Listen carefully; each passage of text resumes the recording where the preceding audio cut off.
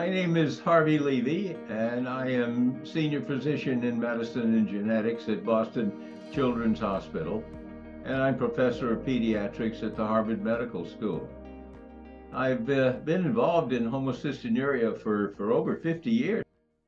Well, classical homocystinuria is uh, one of the so-called inborn errors of metabolism, metabolic disease. Now, methionine is an amino acid that's present in virtually all of the food we eat. It's present in very large quantity in meat and fish and cheese and milk and and hot dogs and hamburgers and all sorts of, of food that we, we, we're very familiar with. So it's uh, what we call a ubiquitous amino acid. It's present all over the place. So we eat methionine, and our body converts the methionine to homocysteine. It's a very simple conversion, but it's a very important conversion. And so we end up with homocysteine in our body as a result of the fact that we eat methionine. Now, when we have homocystinuria or HCU, what happens is that the homocysteine cannot be further changed. It accumulates, it builds up in our body because in order for it to be changed, it has to be converted to another compound, which has a very complicated name called cystathionine. But what is most important is that people with HCU lack the enzyme, which is responsible for changing homocysteine to cystathionine. And, and that enzyme is called cystathionine beta synthase, or or it's abbreviated CBS. And many of you, I think, have probably heard uh, that term.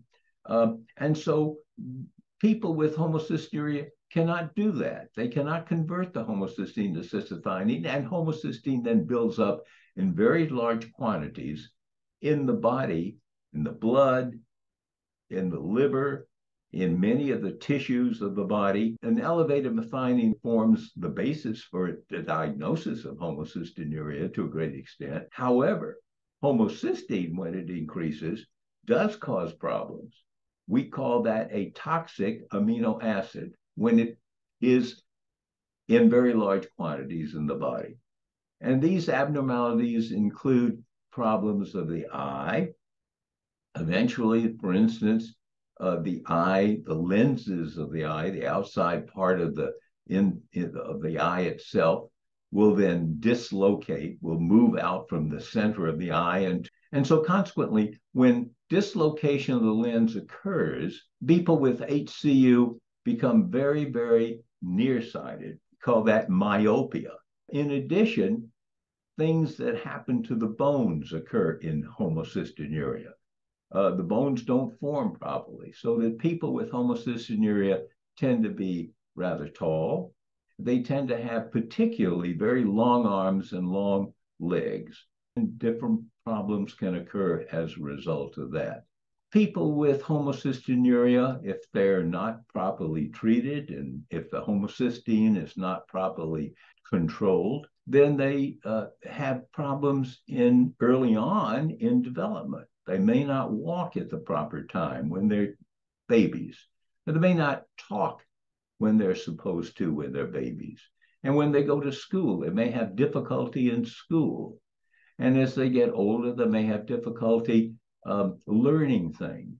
And as people get older with homocystinuria, and if the homocysteine is not properly controlled, uh, they may have psychological difficulties, uh, problems with depression or anxiety, or getting along with people, or controlling their temper, or in the work process. They may have problems in organizing uh, their work, organizing their thoughts.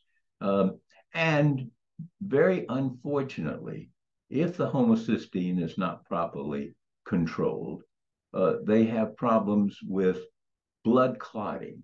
And so consequently, the blood clots clotting problem will cause them to have what we call pulmonary embolism. Or they may have a blood clot in a, a large blood vessel that goes up into the brain uh, or in the brain itself.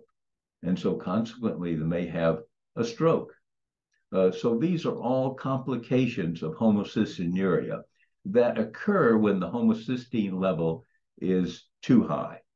And consequently, there have been treatments developed over the years, and you're very familiar with perhaps the most important uh, current treatment in homocystinuria, which is a diet, uh, which controls the amount of methionine that comes into the body and is a matter of fact in, in the food. And by reducing the amount of methionine that, that comes into the body from food, the level of homocysteine is reduced. The problem is that the diet is very, very difficult.